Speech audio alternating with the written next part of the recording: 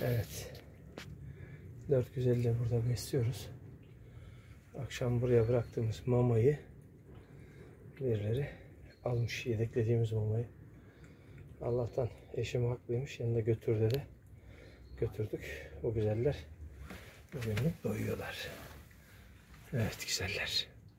Kocaman oldular bunlar. Çok kocaman oldular. Şimdi kuru mamalarını da vereceğim. Yedekleyeceğiz artık. Gelen havasını alacak. Bir de burayı pisletmişler. Evet. Ne yapalım yapacak bir şey yok. Hadi kolay gelsin. Bizi izlediğiniz için teşekkür ediyoruz diyor bu güzeller. Bu yavruları bu hale getirdik ya artık. Daha da büyüyecekler.